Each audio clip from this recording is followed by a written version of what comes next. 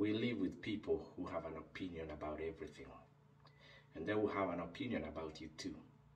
But that doesn't have to be your reality.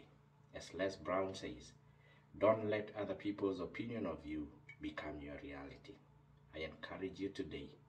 You have a life. You control your life. Determine how you want your life to be. You can make the right decisions and you can take the actions that you need to make your life successful. You have a bright future and only you has the right and has the responsibility to determine what that future will be. It is your life. Take the right decisions, take the right actions, make the right decisions to ensure that you have a successful life. I wish you the best.